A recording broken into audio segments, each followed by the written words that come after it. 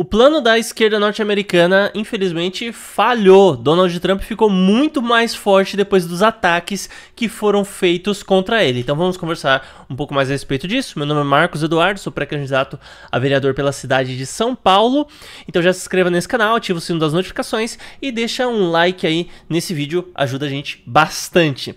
Então, olha só, a carteira do, cripto do Donald Trump chega a 30 milhões de dólares com fãs lhe doando meme coins, tá? Então o pessoal tá doando um monte de criptomoeda, porque para quem não sabe, né, é uma carteira de criptomoeda é como se fosse uma espécie de Pix, né? Então você tem aquela carteira, a partir do momento que todo mundo sabe o endereço, o pessoal pode ficar te mandando dinheiro, né?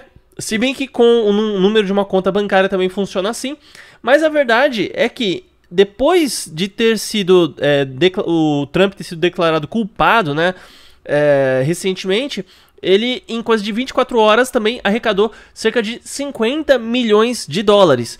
Então, o tiro da esquerda para tentar barrar o Trump, infelizmente saiu pela culatra. E a grande verdade é que eles não têm argumentos para lutar é, no, no campo das ideias, então a alternativa deles é lutar mediante a força, mediante a violência. É a mesma coisa que acontece aqui no Brasil em relação ao STF. Se você faz certas críticas, ao invés deles responderem as críticas, não, eles calam a sua boca, né? Eles, por meio da violência, mandam suspender a sua, sua conta, suas redes sociais, suas publicações. Né? Isso é sim um tipo de agressão feita pelo Estado, é uma agressão, é uma violência feita contra a liberdade do indivíduo.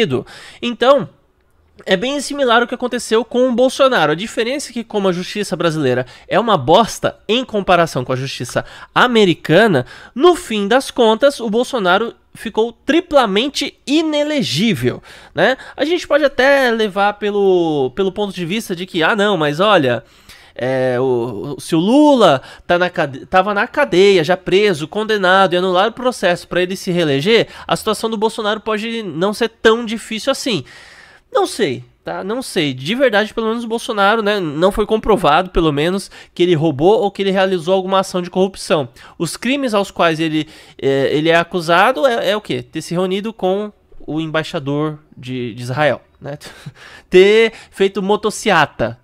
Ah, foi uma campanha antecipada. Cara, tem tanta coisa que a gente pode falar aqui que foi campanha antecipada do Lula, mas a grande verdade é que eles não têm como lutar contra os argumentos do Bolsonaro, então a solução foi torná-lo inelegível. E com o Donald Trump é mais ou menos a mesma coisa. Eles não conseguem contra-argumentar eles não conseguem pegar um argumento e falar, ah, eu acredito isso isso. Então é feito o ataque diretamente contra a pessoa, contra o ser humano. E é a melhor coisa que você pode fazer. Quando você é burro pra caramba e você não consegue argumentar com uma pessoa, o que, que você faz? Você fala, ah, vamos supor, você é burro pra caramba e você não, não concorda comigo. O que, que você vai falar? Ah, não, mas o Marcos é bobo. O Marcos é besta, o Marcos não é legal, o Marcos é chato. Então é assim, né? Ou então você pega alguma característica física e fala assim, mas fica quieto, ô narigudo. Óbvio que eu sou narigudo, né? Óbvio que eu não sou um exemplo de beldade, de beleza e tudo mais. Então, Assim, né? Mas o que, que isso tem a ver com a minha ideia? O que, que isso tem a ver com os argumentos que eu apresentei aqui? Simples, você é burro pra caramba, você não consegue argumentar.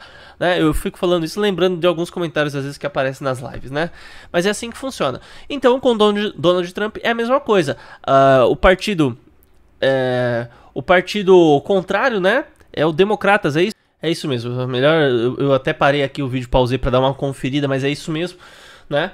É, então, o Partido Democratas, eles simplesmente não conseguem argumentar, não conseguem colocar um candidato à altura do Trump, então eles tentam é, lutar com base na agressão, né? E o Joe Biden, coitado do Joe Biden, né? Ele saiu uma matéria hoje, inclusive, falando que ele tá com dificuldades aí em relação à sua sanidade, e a gente já viu vários vídeos dele né? É, simplesmente de, descendo a escada, o cara tropeça, rola.